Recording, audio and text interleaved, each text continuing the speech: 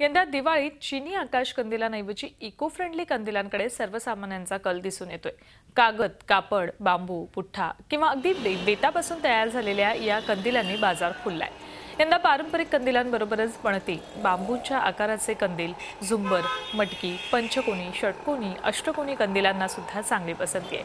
ठाण्यातल्या कैलास देसले यांच्या हेरंब आर्ट्समध्ये हे बहुरंगी आणि बहुढंगी कंदील तर थेट परदेशात जाऊन पोहोचले.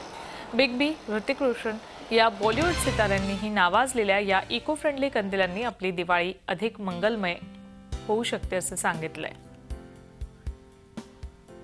इको फ्रेंडली याच्यासाठी की बाहेर जे कचरा करतात प्लास्टिकच्या कंदीलचा तर प्रदूषणाला आळा बसण्यासाठी आम्ही हे इको फ्रेंडली कॉन्सेप्ट निवडतो छान आहे. ॲक्च्युली निसर्गासाठी तर बेस्ट आहे. आणि हे कसं कागदापासून बनवलं आहे त्याच्यामुळे काही हानिकारक नाही. झी चोवीस तास. रहा एक पाऊल पुढे.